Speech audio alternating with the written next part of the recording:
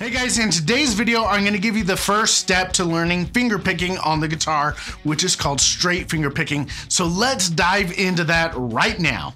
Now you can do finger picking on acoustic guitar or electric guitar, but this is the easiest way to get started with finger picking. When I started years ago, I started out with learning Travis picking.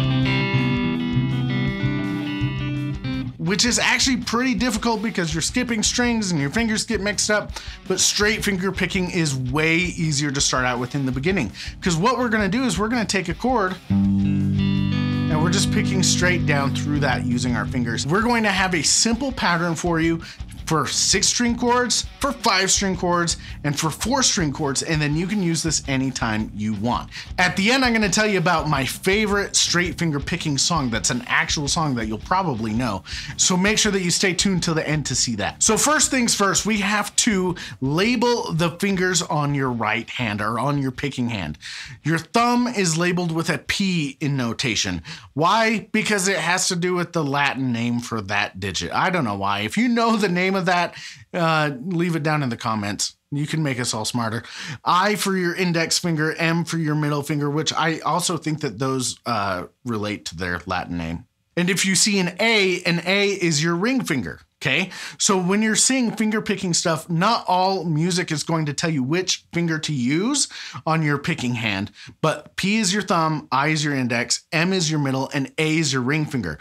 Today, though, we're not worried about the ring finger. We're going to be doing thumb, index, and middle, and that is it today. So when it comes to a six string chord, what we're going to do is we're going to take a really simple four note pattern that repeats twice in a measure. So we're just playing eighth notes, one and two and three and four, and nice and steady rhythm.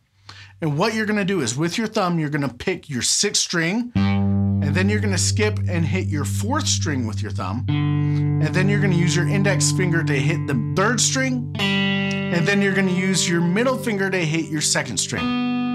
Now, a quick note about the technique here. My thumb is out to the side of my hand and my fingers curl up into my hand as if I'm making a fist with them when I hit the string. You don't want your fingers to be out and to the side and kind of coming up weird like this. I see people do that once in a while. You want that thumb out and you want those fingers coming into your hand like you're closing your fist. So for a six string chord, it's just gonna be six, four, Thumb, thumb, index, middle thumb, thumb, index, middle. That's it. Nice, simple pattern that you can repeat anytime you have a six string chord. Now for a five string chord is pretty much the exact same thing. What you're going to do is make a five string chord like a C chord here.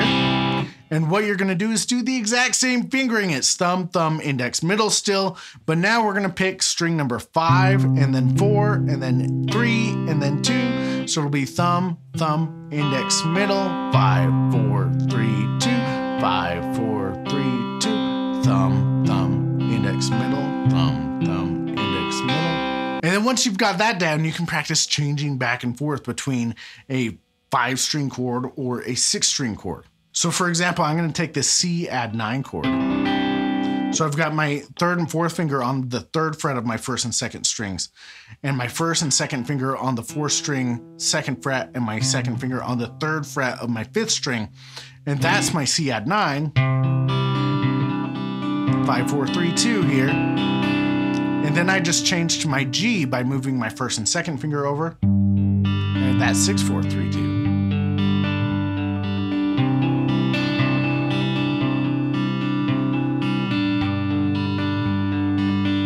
Now for a four string chord, we're still gonna use the same fingering. It's still thumb, thumb, index, middle, but instead of five, four, three, two, or six, four, three, two, we're gonna do your fourth string, your third string, your second string, and your first string. So you have to shift a little bit of your hand position to make sure that your fingers are hitting the right strings here. So if you take like a D chord, you're gonna have four, three, two, one. And then you change to a five string chord then to a six string chord.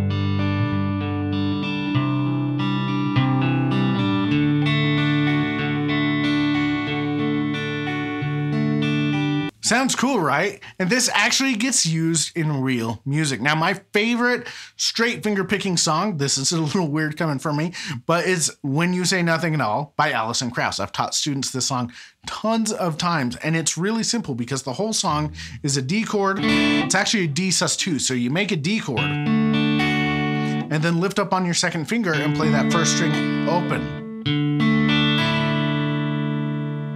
And then you have an A sus4 chord, which is leaving that third finger from your D chord in the same spot. And then you make an A chord with your second fret on your third and fourth strings. And then you make a G chord with that third finger still in the same spot. And then you go back to that A. Now, when you get fancy, you can do a hammer on on that second A chord that you play where you hammer on to that third fret on the second string. But you put that together and you get this. And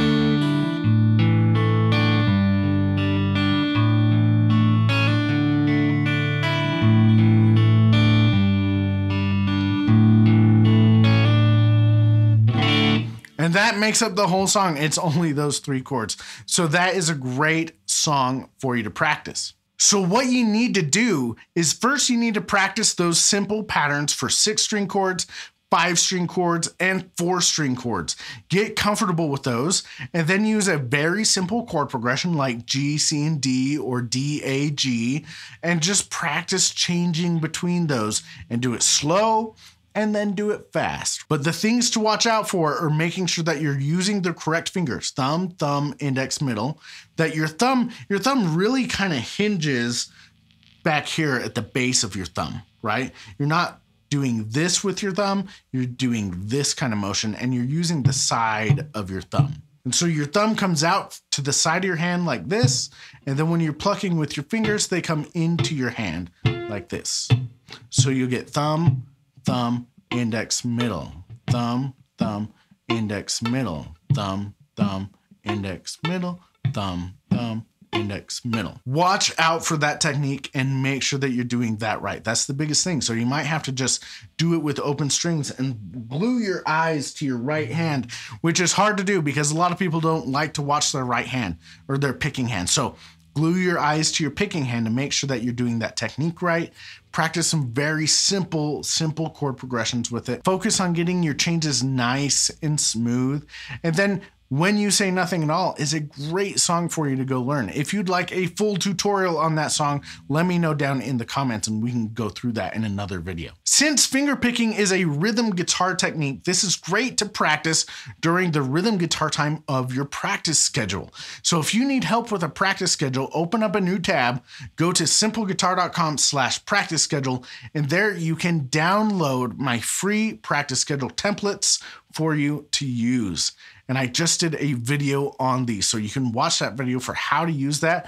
But this gives you something to work on during the rhythm guitar section of your practice. Now, if you want a great song that is also finger picking, but is actually slightly easier than straight finger picking because you're just using your thumb and your first finger, go check out this video on how to play Blackbird by the Beatles. That is a great, iconic finger picking song, and I walk you through the whole thing. It's not as hard as it sounds. So go check out that video on how to play Blackbird, and I will see you over there.